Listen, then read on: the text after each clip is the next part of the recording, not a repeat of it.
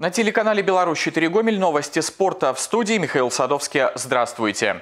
В гандбольном первенстве страны состоялись очередные поединки после возобновления турнира.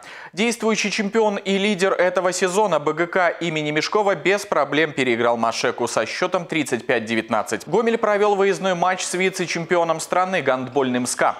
Хозяева уверенно лидировали практически всю встречу. За 10 минут до окончания поединка гомельчане смогли выровнять счет. Выйти вперед не получилось. По итогам матча победа на стороне Минского СКА 33-27. Самыми результативными игроками Гомеля стали Дмитрий Смоликов и Сергей Орловский на их счету по 8 мячей.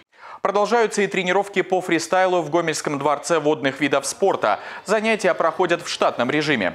В учебном процессе значительных изменений нет, однако тренерский штаб подготовку включил плавание.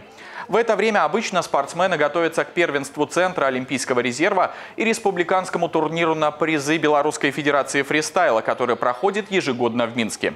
Соревнования были запланированы на апреле и начало мая, их перенесли. Даты проведения сообщат позже. Однако в связи с постановлением Министерства спорта и туризма первенства могут состояться не раньше июня. Теперь цель тренировочной работы – сохранить форму. На сегодняшнюю ситуацию, в принципе, я бы не сказала, что что-то поменялось.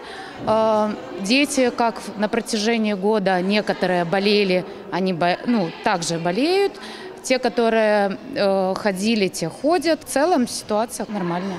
Ну, я знаю, что национальная команда сейчас отдыхает, они в режиме отдыха, но у них в этот период и есть отдых. Чемпион вторых европейских игр по спортивной акробатике Артур Беляков проведет завтра онлайн-тренировку. В прямой трансляции можно подключиться на официальной интернет-площадке Гомельской городской организации БРСМ в 15.00. Во время эфира спортсмен расскажет, как проходят его тренировки и каким был путь к Олимпу, а также поделится профессиональными секретами. Кроме этого, он покажет, как тренируется и предложит несколько упражнений для зрителей. Чемпионат Европы по академической гребле перенесен на октябрь. Изначально он должен был пройти с 5 по 7 июня в Познане. Место сообщат позже. Крайний срок обозначения страны – 31 июля. Также континентальный форум среди спортсменов до 23 лет состоится в немецком Дуисбурге с 5 по 6 сентября.